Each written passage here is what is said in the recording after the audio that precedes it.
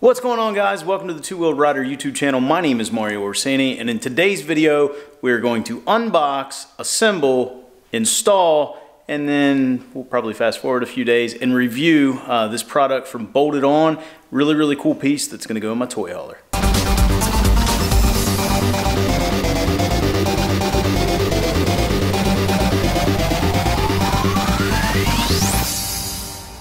Right, just so you guys know, this is not a paid product placement. I actually bought this full price. I have exchanged some emails with Scott and I told him my plans. I was probably gonna make a video about it definitely send him some photos over those sorts of things. So anyway, I'm looking forward to installing this in my toy hauler. We've been looking for a good bike tie down solution. I played around with some other ideas, but this really just seemed like the best idea. And uh, I won't have to put them up in the uh, back of the truck anymore and they're just gonna be much, much safer. So uh, let's get to opening this stuff.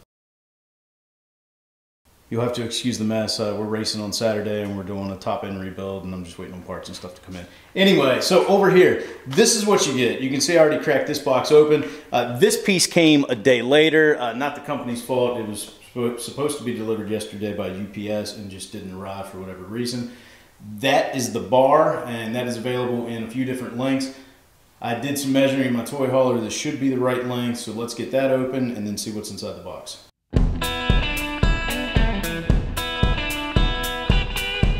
Tell you what, if the product is half as good as the packing job, this is going to be awesome. I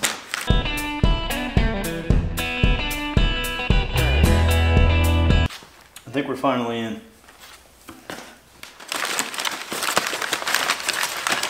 Right, there's one of the hooks, hook number two.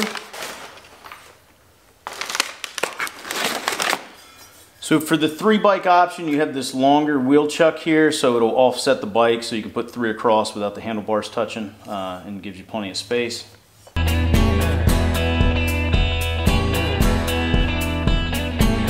Wheel chock number two, wheel chock number three. Nice logo placement. Oh wow, that's even coated with rubber on the bottom. Nice. And then last but not least, in uh, inside the box, uh, thank you, Scott, bolt it On. I'm going to guess this is probably the invoice. Actually, no, it's not the invoice. It's some instructions. Also have a uh, Bolt It On sticker. So nice touch. This is hand signed. These instructions should be easy enough to follow. So uh, let's head out to the toy hauler and start installing this thing.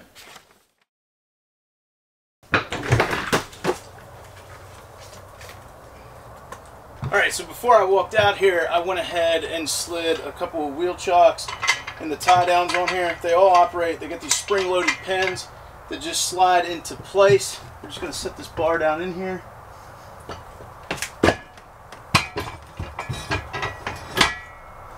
I'll be back with the rest of the parts.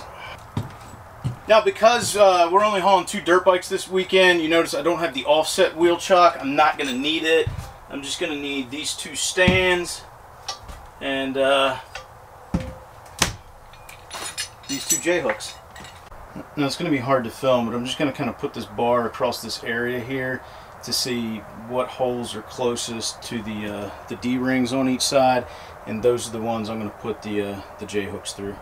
Alright, so before I actually put the J-hooks on, I went ahead and put the end supports on. Now I'm going to step them in a little bit because I kind of want them as close to the D-rings as possible, and then we'll get the J-hooks set up.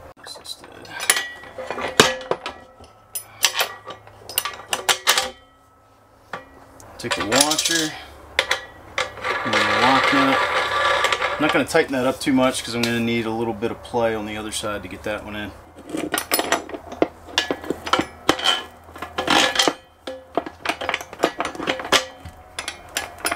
Same deal, washer, lock nut.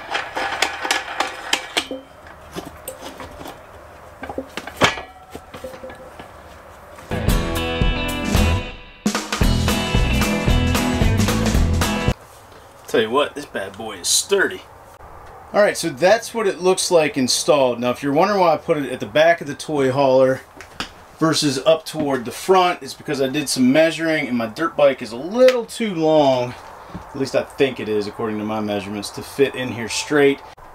Now what's cool about this is now that we have the feet set up on it, really all we have to do is uh, whenever we want to take it out, and turn this into uh, camper mode is just take the uh, two lock nuts off the uh, J-nuts there take about 30 seconds to a minute and, and we can pull this whole bar out. What's cool is, is the adjustability. We have all these different holes drilled in throughout here for different bike configurations. So if we want to move this over, just pops right into place. Same thing with the tie down straps. If you had a larger trailer where you're going to put this in the middle, you could obviously mount wheel chocks on both sides. So you could park uh, or uh, strap down bikes on both sides of it. Really, really cool device. Um, we're not going to test it out tonight. We will uh, come back in about two nights and uh, get the bike set up in here.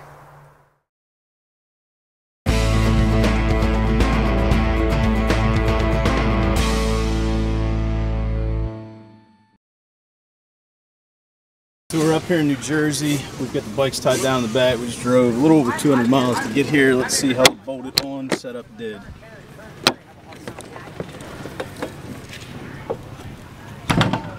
Bikes are still standing. What do you think? It's a really nice setup. We have All right. a lot of room.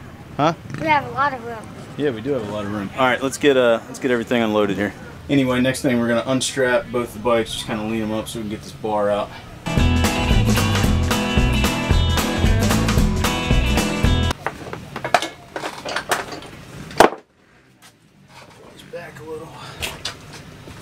Pull this back a little.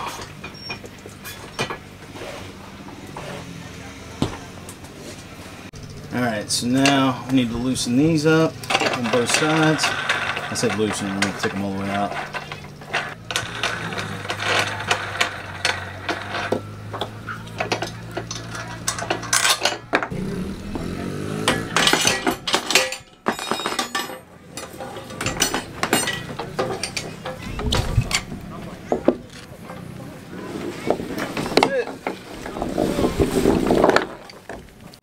Now all we got left to do is just roll the bikes out of the back. It was easy. All right, so now that I've got to use the Bolt It On tie down system in my toy hauler for the weekend, what do I think? I think it's a great product. I'm glad I got it. Uh, it's definitely got some major positives. Number one, the adjustability. All you really have to do is measure for the uh, width bar you need, and there's all sorts of adjustability there. Uh, it's also totally customizable depending on whether you're hauling dirt bikes, street bikes, adventure bikes, whatever the case may be. And it's quality built. Uh, it's a really cool product. It only takes like a minute or two to take in and out once you have it set up uh, width-wise and how you're going to configure it uh, really like it. Uh, if there is one negative, it's probably the cost. It, mine came in with the three bike setup right around 500 bucks, which is not cheap. But if you're gonna use it and you're gonna use it often, it's probably money well spent. Again, I'm gonna link them down in the description below. I have no affiliation with the company, but if you're looking for some sort of uh, motorcycle tie-down solution, be it for an enclosed trailer or a moto van or a toy hauler, whatever the case may be, it's definitely something worth looking into. So anyway, I hope you guys enjoyed today's video. If you did, please give it a big thumbs up. If you're not a subscriber, considering that subscribe button, because if you like motorcycles, well, this is the place to be. If you have any questions about the Bolt It On setup, I'll do my best to answer them down in the comments section below. But uh, I gotta go work on my bike now because I had a DNF today and I'm not happy. And as always, I'll talk to you again soon.